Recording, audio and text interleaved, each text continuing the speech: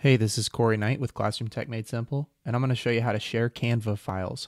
So if you're familiar with Canva, it's an awesome online graphic design software, and they've really have updated it a lot lately. So let's talk about how to share it.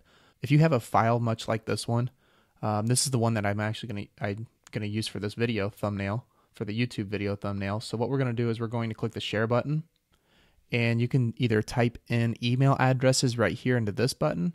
They have a new social share button um, you can write a caption right there. You can either do it to Twitter or Facebook.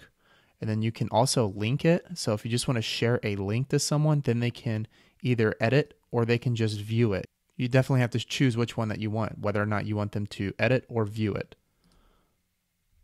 You can also embed it if you have a website. Um, you can embed it, but you got to make the design public.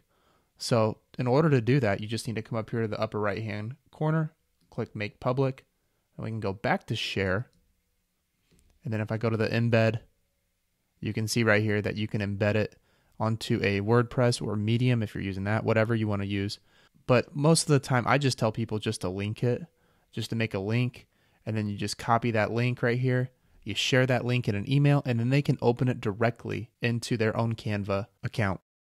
So that is how you share Canva files I hope that you like this video, and if you like tips like this, make sure that you like and subscribe to the channel so that you can get more tips like this sent directly to you. This is Corey Knight with Classroom Tech Made Simple. We'll see you next video.